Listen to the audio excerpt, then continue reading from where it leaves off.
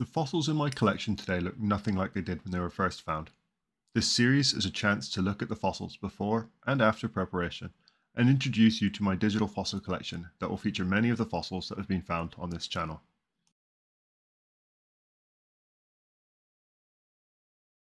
Well, I have gone and done what I've always wanted to do. I have found myself my bone.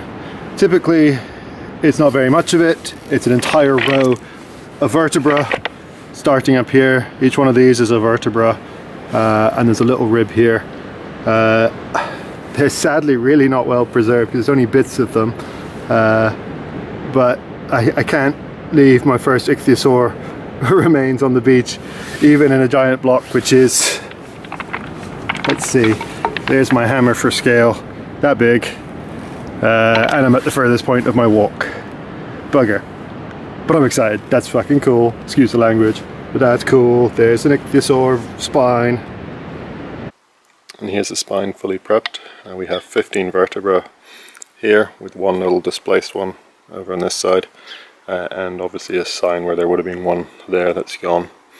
Uh, we have this discoloration here, it's actually because it's not the rock, it's actually resin from the supporting backing that's on the other side. And the backing is there to support this uh, rock. This rock was a grey shales rock uh, and you can still see that it's got lots of little cracks in it and this is just how the grey shales work as they dry out, they crack, they split. Um, so it's just something you have to keep an eye on with the structure and integrity of this fossil.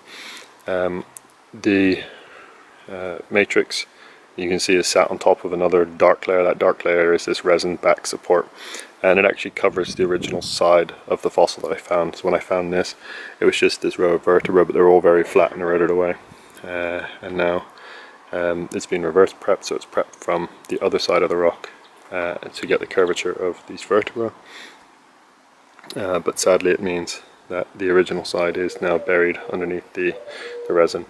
Uh, we've got a lovely little belemnite just to give you a scale of how small these individual belemn, uh, individual vertebrae are. Um, it's a beautiful little specimen, very proud.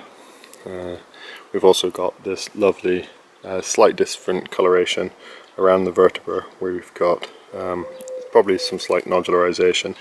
Um, so you know in the Yorkshire coast we get nodules uh, and this looks like the, there was a nodule of some description forming around these vertebrae but didn't do a complete formation um, which is why we still got the grey shale so tightly uh, adhered in some places. Uh, we've got only a couple of ribs still in place, these ones just here um, and then I'll even actually in situ They've come off uh, and we've got this other weird little bit here which is probably a bit of a crustacean just for an added bit of interest as well. Uh, incredibly pleased that uh, has come out so well. Uh, 3D scans are well worth looking at as well if you want to have a have a peek and see what it looks like yourselves. Uh, so do check out the scan coming up next.